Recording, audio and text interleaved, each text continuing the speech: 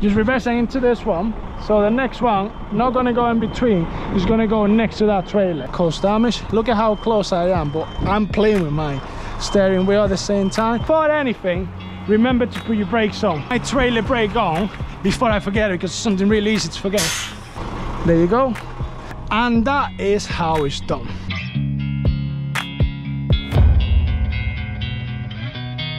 You just put the drone up gonna do gonna go and pack this up. Gonna see from ground from sky. So let's see what we can do. But not some mad thing. It's gonna be an easy one which is star one. The 13138 so it should be all right. So i'm gonna do a quick spin here. And what am i gonna do? I pack it the way i always do. Look how much space i got in here. So this is what i do Look, somebody else coming around? That's doggy. Just reversing into this one. So the next one not gonna go in between. Is gonna go next to that trailer. So this is the way i do it. Trying to line myself up as much as i can like as close which is not difficult reversing and then just turn it. And then just slowly it's just gradual. If you want to be as close as you can and just can and just leave space for the next trailer just make sure you like close but not too close because you don't want to cause damage. Look at how close i am but i'm playing with my steering wheel at the same time. But look.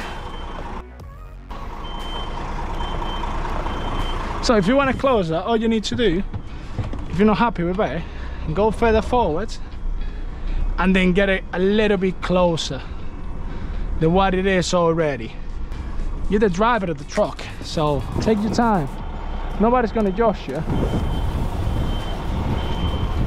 There you go a little bit closer. Start turning though not too fast not too fast. The trailer will take his bearing himself look at how close we are. Not too close because we want to take the we want to do take the trailer off. Look at how close.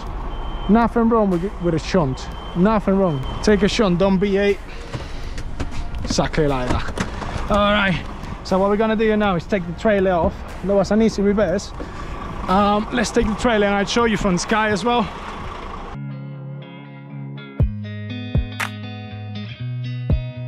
Right, I got a truck there. So what I'm gonna do is I'm gonna get my gloves straight away. And I'm gonna take my trailer off. So gonna go around. I know what I need to do. But before I take my pin off what I'm gonna do way before that is go into my back and get my number plate. Number plate up come around. Put my legs down.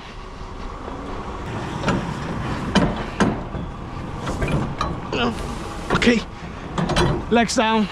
Unit put it somewhere safe which is safe there.